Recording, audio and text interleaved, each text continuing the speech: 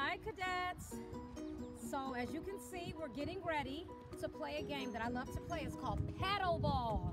So I have here, it looks like a tennis ball and we have two paddles. And I know you can't feel it, but the paddles are Velcro, which means the ball sticks to the paddle. So we're gonna just engage in a fun game. We're gonna enjoy the fresh air. We're gonna enjoy this warm weather. And we hope you enjoy watching just as much as we enjoy playing. Check it out.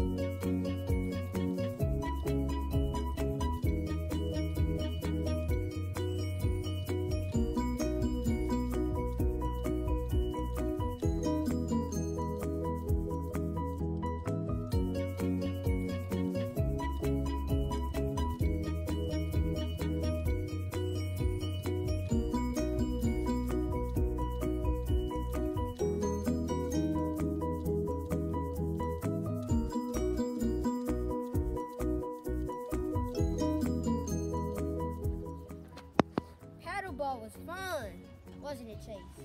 Yes.